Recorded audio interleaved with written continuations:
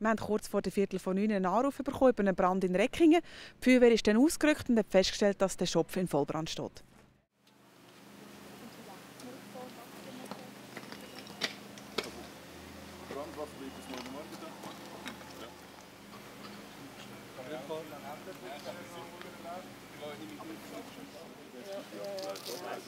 Du siehst wirklich gut, dass da unten Boden alles schön voll